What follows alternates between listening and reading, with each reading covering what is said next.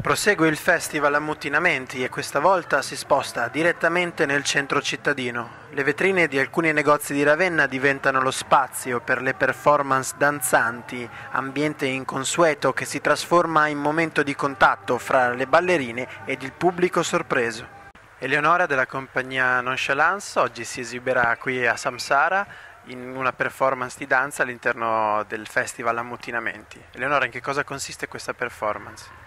Guarda, anche per noi è un'esperienza nuova e hanno scelto alcune vetrine di Ravenna e alcune compagnie eh, faranno una performance improvvisata e, mm, diciamo spostandosi da una vetrina all'altra.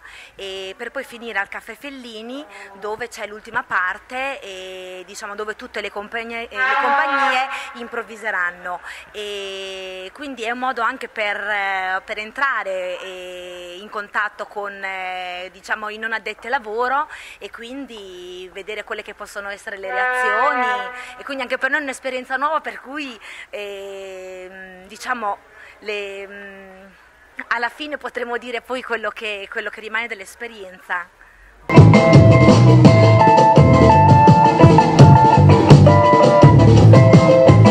Ela é soberana, nos tecidos trans.